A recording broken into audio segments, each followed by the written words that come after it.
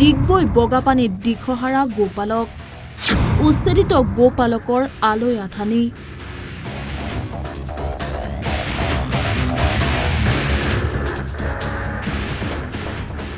পঁচিছটাকৈ গোধনৰ অপমৃত্যু। ডিগবৈৰ বগাপানীত ৰেল বিভাগৰ উচ্ছেদত দিশহাৰা হৈ পৰিছে গোপালক। উচ্ছেদিত অঞ্চলৰ একাংশ লোক গোপালনৰ সৈতে জড়িত। ৰেল বিভাগৰ এই উচ্ছেদৰ পিছতে এতিয়া পানীত হাঁহ নচৰা অৱস্থাৰ সৃষ্টি হৈছে গোপালকসকলৰ।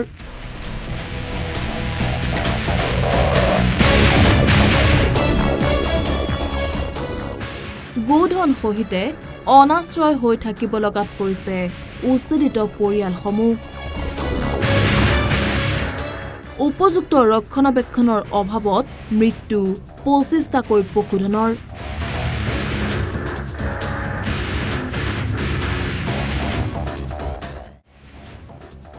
বগাপানীত উচ্ছেদিত ৰাইজৰ পৰিস্থিতিৰ বুজ ল'বলৈ উপস্থিত হয় বিৰোধী দলপতি দেৱব্ৰত শইকীয়াৰ লগতে কংগ্ৰেছৰ এটি সজাতি দল।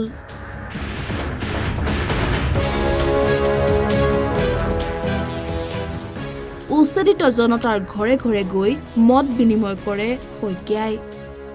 উচ্ছেদস্থলী পৰ্যবেক্ষণ কৰি ৰেল বিভাগৰ উচ্ছেদ অভিযানক তীব্ৰ ভাষাৰে গৰিহণা প্ৰদান কৰে বিৰোধী দলপতিগৰাকীয়ে।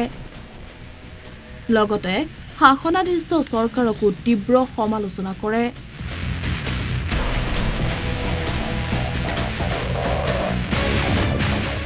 ৰেল প্ৰশাসনে ৰেলৱে মাটিত থকা কিছু পৰিয়ালক উচ্ছেদ কৰিছে। তেওঁলোকক কৈছে আজি বহু বছৰ পূৰ্বে এটা ন'টিছ দিছিল। কিন্তু যোৱা সময়ছোৱাত তেওঁলোকক তিনিদিন আগত এনাউন্স কৰিছিল বুলি কৈছে। কিন্তু তেওঁলোকক তেনেকুৱা সুযোগ সুবিধা দিয়া নহ'ল যে তেওঁলোকৰ ঘৰ সা সম্পত্তি বা গৰু গোহালি এইবিলাক চিফ্ট কৰিব পাৰে। আৰু এনেকৈ হঠাৎ কৰাৰ কাৰণে ইয়াতে বিছজনী মানে গাখীৰ দিয়া গাই গৰুৰ সেইদিনাখন মৃত্যু হৈছে। আৰু মানুহবিলাকৰ এতিয়া বহুত অসুবিধা হৈছে প্ৰায় পঞ্চাছ এশজনমান স্কুলৰ প্ৰৱেশিকা বা হায়াৰ ছেকেণ্ডেৰী পৰীক্ষা দিব লগা ছাত্ৰ ছাত্ৰীও আছিলে। তেওঁলোকক এনেধৰণে উচ্ছেদ কৰাটো একেবাৰে অমানৱীয় আৰু এইটো অসাংবিধানিক।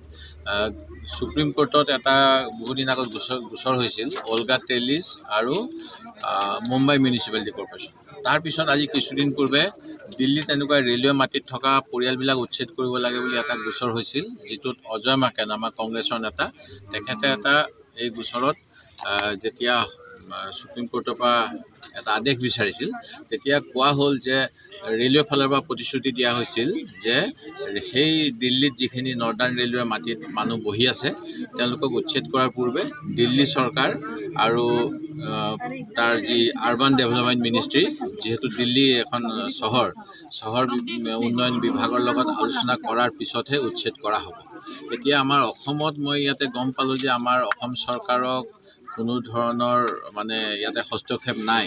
তেওঁলোকে এনেকৈ অসমৰ বাসিন্দাসকলক ৰেলৰ মাটিত বহি থকাৰ কাৰণেই মানে গৰু ছাগলীৰ দৰে এৰি দিছে দায়িত্ব নথকা নিচিনাকৈ। কিন্তু আমাৰ তেওঁলোকে ভোটদাতা হয় তেওঁলোকে আমাৰ দেশৰ নাগৰিক হয়। তেখেতসকলৰ যিবিলাক সংবিধানে দিয়া মৌলিক অধিকাৰ এই গোটেইখিনি আজি এই ৰেলে খৰ্ব কৰিছে আৰু আমাৰ অসম প্ৰশাসন নীৰৱ দৰ্শক হৈ আছে।